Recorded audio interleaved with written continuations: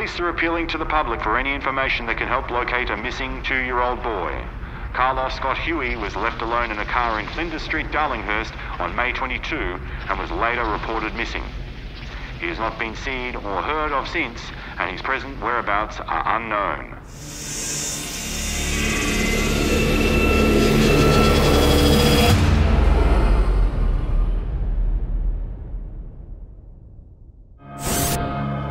He was one of the worst human beings that ever walked the streets of Sydney. He was a psychopath. He was a child murderer. He was just a horrible human being who ultimately got his just desserts. This is the story of the magician, Stuart John Regan. John Regan earned the nickname the Magician, and it had nothing to do with his prestigious abilities. People who befriended John Regan tended to disappear. Regan was paranoid.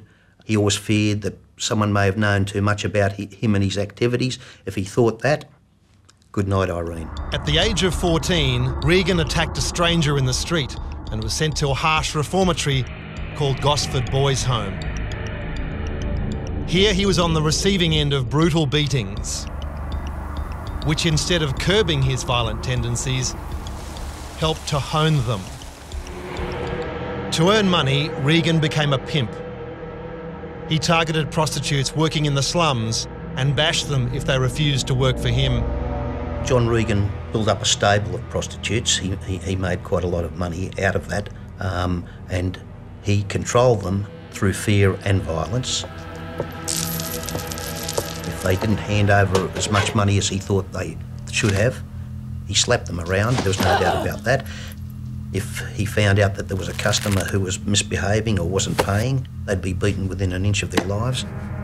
In January 1967, Regan, who was well known to police for assault, robbery, and rape, added murder to his criminal resume. His victim was a fellow pimp and business associate called Barry Flock. Barry Flock was involved with John Regan in a car rebirthing scheme.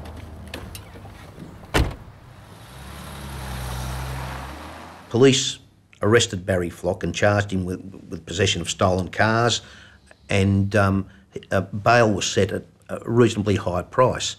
Um, now, not long after that, John Regan himself bailed Barry Flock out. Now, Barry Flock never turned up for court. Barry Flock disappeared.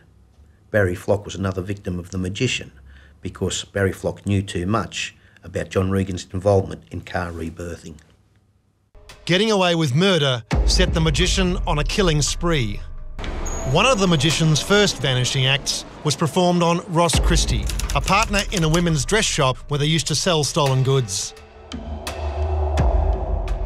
Next was Eric Williams, whose disappearance allowed Regan to consolidate his hold on Sydney's brothels.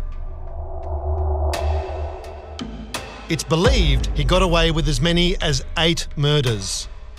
The police were also aware of what he was doing and what his antics were, but it was incredibly hard to get any evidence against him. In fact, uh, he f- I think the only time he was in jail was for a string of uh, car offences, uh, traffic offences, that uh, he was, uh, the allegations of, uh, of assault, vicious assault, perverting the course of justice, burglary, and other charges just fell by the wayside simply because you couldn't find witnesses who testified. They were too scared of him. Well, the downfall of John Regan started with the disappearance of Carlos Scott Huey. Carlos Scott Huey was the son of prostitute Helen Scott Huey, who lived with John Regan. She was his girlfriend. John Regan claimed that he'd gone to Taylor Square in Sydney at 4am to buy a newspaper he gave police this story that he just left Carlos briefly in the car while he went to get a newspaper, came back and Carlos was gone. The public, the media, the gangsters, the police had no doubt whatsoever that Carlos had disappeared because Regan had killed Carlos.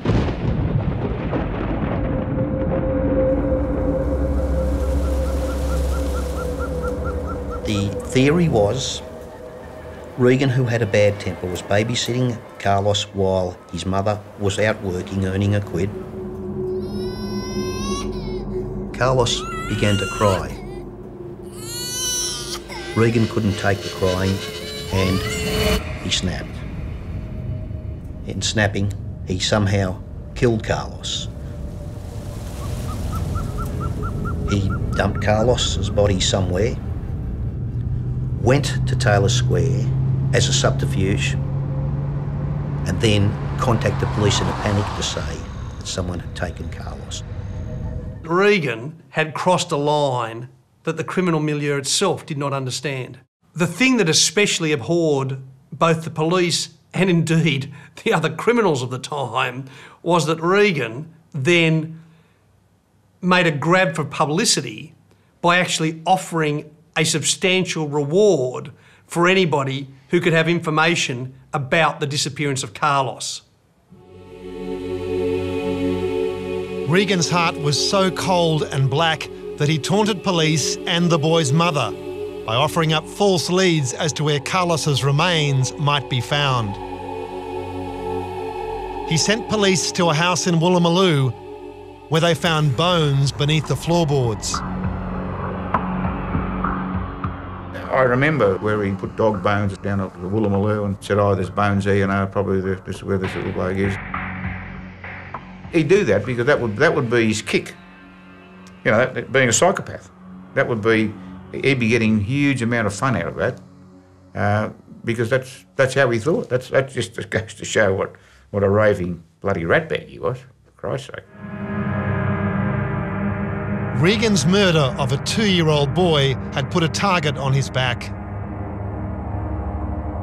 But without a body, the police were powerless to charge him. The arrogant Regan then waged a media war against the police.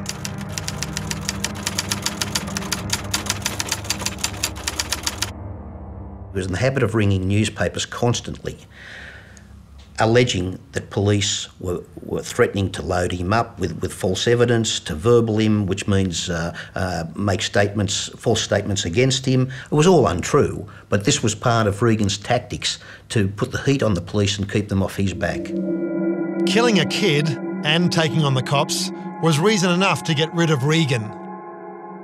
However, it was when Regan killed Ratty Jack Clark that he signed his death warrant. Clark was a good mate of Sydney's criminal godfather, Lenny McPherson.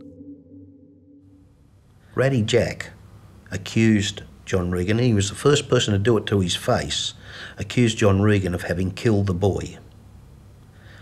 Well, not long after that, Regan shot Ratty Jack Clark.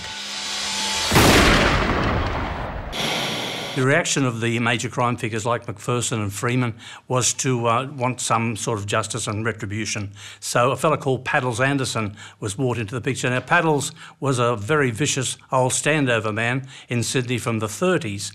By this stage, of course, he was a lot older, but he still was trading on a very substantial reputation, and he was also involved in the criminal element as a mediator, as a fix-it, as a go-to man to smooth over problems, and this was a problem.